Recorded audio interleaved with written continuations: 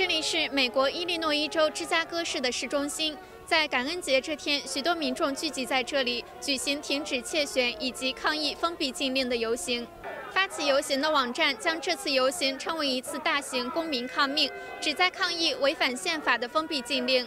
That we're not going to cooperate with unconstitutional orders. We're not going to cooperate with orders that violate our natural rights or our civil rights. We as American people need to trust our elections infrastructure. We need to trust that the people we the people chose to to represent us are, are the legitimate leaders of this country, such as the President of the United States and state representatives and other things like this. We need to make sure that these problems are addressed, or we may never have a fair, honest, and open country again. I've lived through China. I know what censorship is. I know what socialism is. And I feel like part of the propaganda uh, has already reached our country probably 10 or 15 or 20 years ago. And this is the result.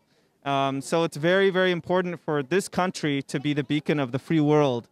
Um, once we lose America, everything falls into that place, and we don't want that to happen. So it is our right as an American citizens to fight against those unconstitutional laws and, and mandates.